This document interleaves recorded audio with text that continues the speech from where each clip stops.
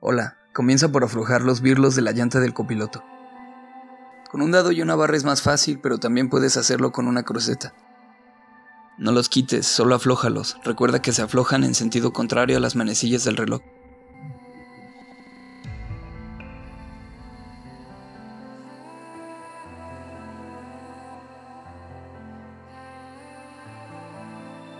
Coloque el freno de estacionamiento.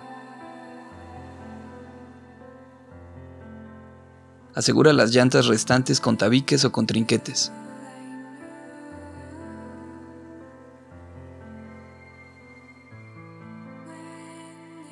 El triángulo indica el lugar en donde debes poner el gato mecánico y elevar el auto.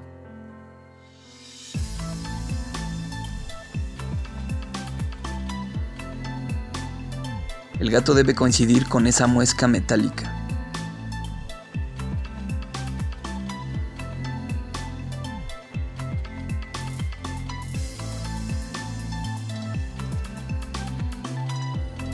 Una vez colocado el gato mecánico con la mano, utiliza la manivela para elevar el auto.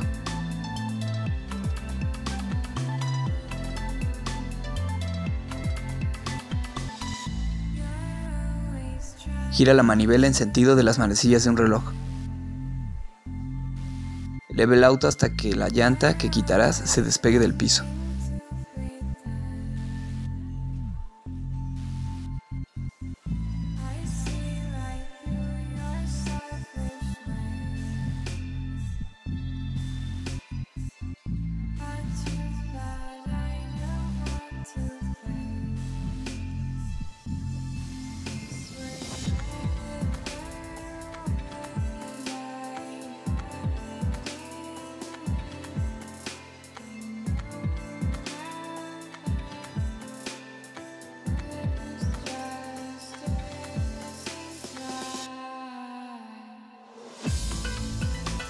Coloca un soporte de auto y baja el gato lentamente para que se apoye en este.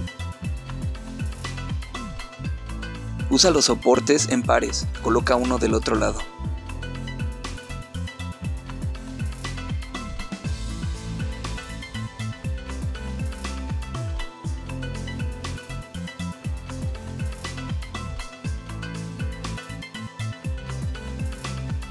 Afloja con tu mano el gato para poder retirarlo con rapidez.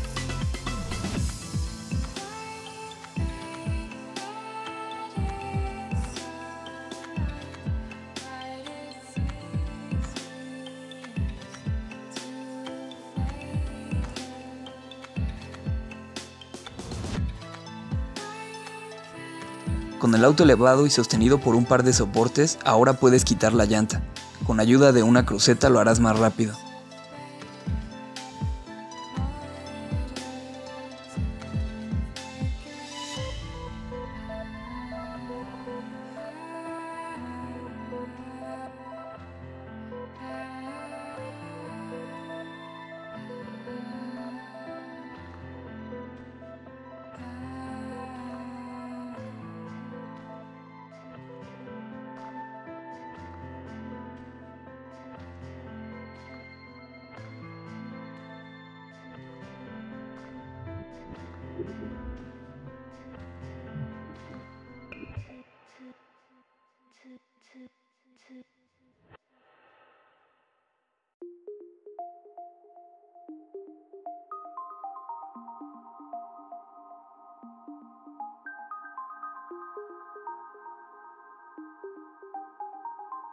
Si la llanta no cae por sí sola cuando quitas las tuercas, puedes patear ligeramente la llanta en una orilla y esta caerá.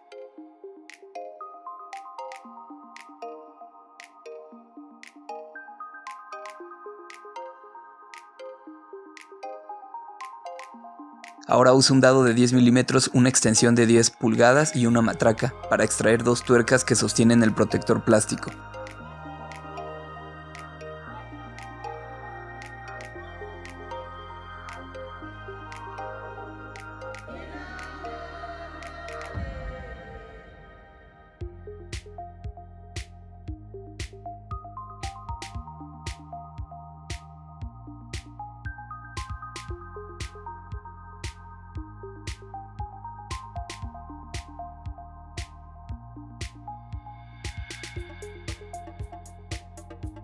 Una vez que se haya aflojado, intenta con tu mano sacarla.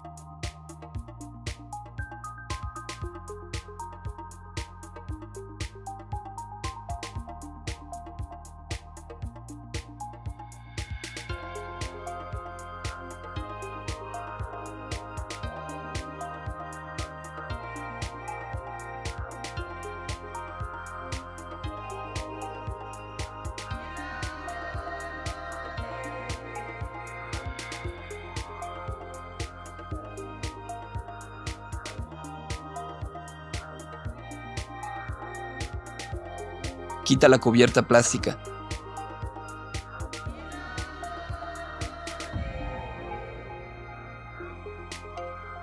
Esta es la banda del alternador o banda multiaccesorios. Para poder quitarla tienes que aflojar un tensor que se encuentra en una polea. Necesitarás una llave larga de 14 milímetros o una herramienta especial para quitar bandas.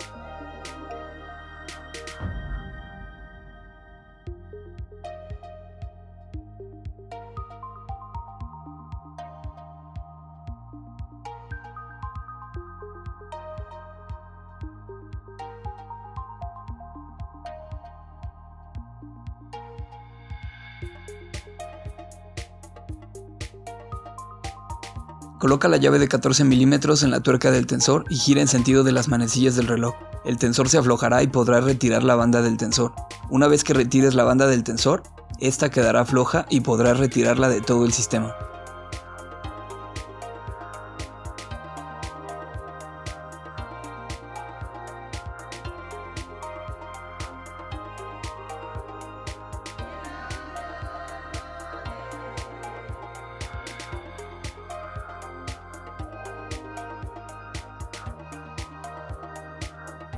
Aquí puedes observar la diferencia entre la banda nueva y la banda vieja. La banda vieja está lisa, mientras la nueva tiene un patrón. Las costillas de la banda nueva se encuentran enteras, las de la banda vieja se ven con un gran espacio. Esto causa que la banda haga ruidos, chille, rechine, etc. Esta banda hace mucho que debía ser reemplazada. Este es el diagrama de instalación de la banda. Las partes lisas de las poleas van junto con la parte lisa de la banda. Las poleas con surcos van con la parte de la banda que tiene surcos. Primero deberás colocar la banda en todos los accesorios. La última parte que instalarás será la polea tensora. Debes aflojarla de la misma forma que cuando la quitaste. Así pondrás la banda y cuando la polea regrese a su sitio, la banda quedará tensada. Asegúrate de revisar que la banda esté bien instalada antes de encender el vehículo. Ojalá el video te haya sido útil. Nos vemos en un próximo video. Hasta entonces, cambie fuera.